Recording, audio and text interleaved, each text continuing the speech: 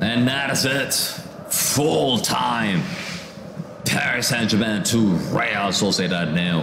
And Kylian Mbappe and Barcola is the difference in this game. Really, you have to say that Paris Saint Germain deserved to win this game, but based on second half performance, not really in the first half. I feel like in the first half, Real Sociedad had a couple of decent chances where they just they just did not take them. They just did not take them. Donnarumma had to be called in this match. He made a couple of saves in this game, but second half from that set piece, uh, Dembele cross, uh, Marquinhos with the assist for Kylian Mbappe to take the lead. Ever since Kylian Mbappe scored in this match, uh, Real Sociedad just completely collapsed. I mean, they completely collapsed, and they conceded the second goal through uh, uh, through Barcola. Barcola just dribbled and passed two players and just taps it home. Really solid, solid result, I would say, for Paris Saint Germain.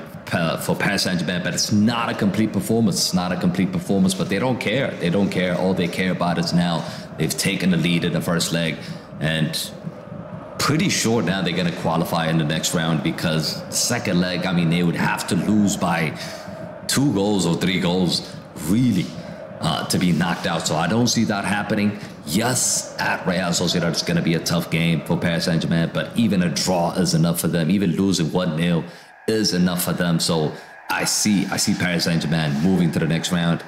Uh, Lazio have won their game against Bayern Munich as well. It's, it's, it's incredible. Upamecano has red carded in that match.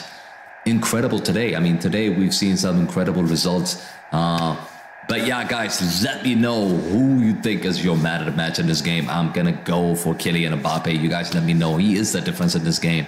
Uh, uh, he made the difference in this game. I think after that goal, Paris Saint-Germain were just more relaxed and they controlled the match. So the first goal is really, really key in the Champions League. So I'm gonna give it to Kylian Mbappe. You guys let me know in the comment sections who's your man of the match. But yeah, guys, thanks for watching. As always, smash a like on this video. Subscribe to the channel if you guys are new to the channel. I will see you on the next one. Peace.